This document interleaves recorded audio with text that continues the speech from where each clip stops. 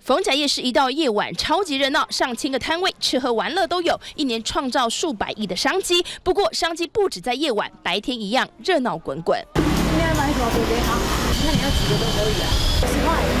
这条是文华路，也是懒人烤虾、章鱼小丸子起源的路段。从早上六点就开始有摊贩摆摊，有卖水果的，有卖蔬菜，还有卖锅碗瓢盆的五金摊贩，就连猪肉也来这里摆摊。看起来像是一个迷你小菜市场，成了附近居民的采购地点。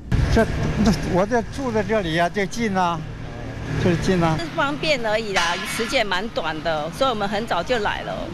好，他白天生意如何？白天哦。因为这里都是眷村，都是阿妈比较多啦，啊，就加减做方便啦。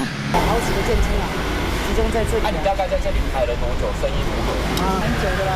因为没有市场啊，以前有市场要走了，要建村改建。